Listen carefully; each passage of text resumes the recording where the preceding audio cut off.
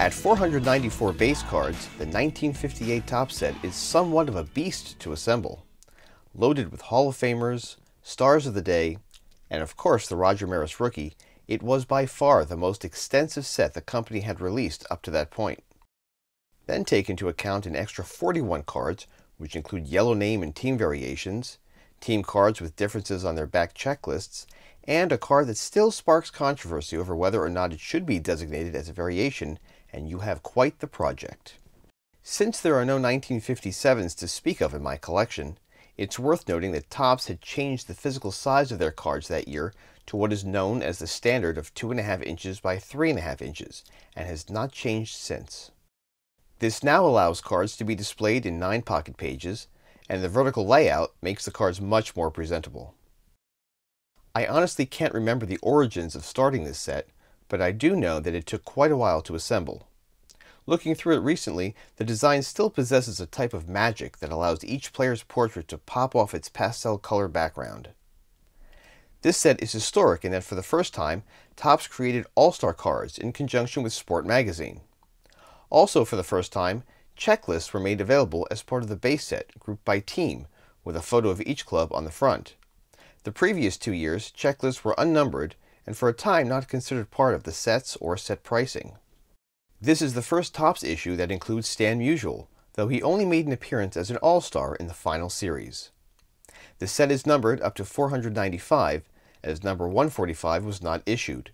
During the winter of 1958, Ed Bouchee, the rumored recipient of that spot, was given a season-long suspension, though he was reinstated in July of that year. 33 cards from numbers 2 to 108 have a variation of either the player's name or team name in yellow print as opposed to white. Tougher names to find well centered and in EX or better condition are the Bob Clemente and Al Kaline. I found this Hank Aaron at a card show for a decent price, and as someone once noted, when you see a 58 yellow in any condition, scoop it up. Makes sense. I'm down to just 8 yellows needed and have a beat on a decent Clemente. The centering is off left to right, but the edges and corners look really nice. I'll give you an update if I scoop that one up. Four team cards found towards the end of the run have been discovered with the player's checklist listed alphabetically, like all the other teams, and also in numerical order.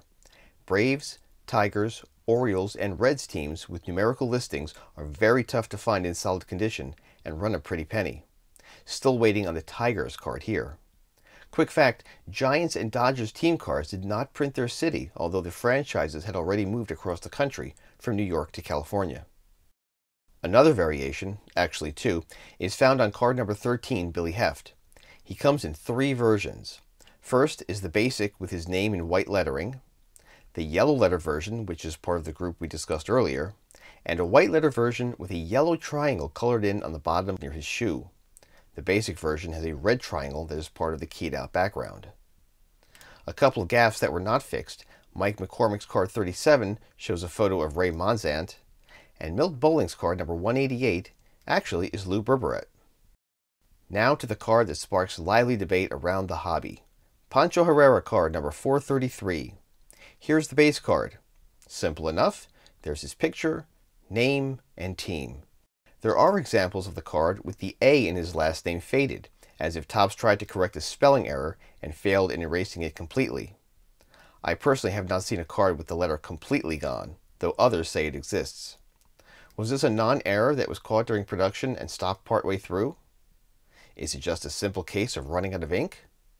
No matter the reason, the card goes for big bucks, especially in graded form. It's too rich for my blood, so I'll just chalk it up as one that will not be part of my collection. That means my master set will never be at 100% complete, but that's just the way it goes. If you're a super duper collector and feel that any Topps branded item from one particular year needs to be attained, then be aware that the company inserted bazooka contest and felt emblem giveaway cards in random packs. Just some more goodies to chase in case you thought you were done. I have some work to do on this set, Besides the 8 yellows and the Tigers team variations, there are 20 cards I'm looking to upgrade. There are no major stars needed, but centered and free of ink on the backs would do nicely. Thanks again for continuing on this journey with me. Check out future videos which will update my progress in finishing this and other vintage sets. In the next video, we'll talk about a personal historic mark in my collection as we go through the 1959 Topps set.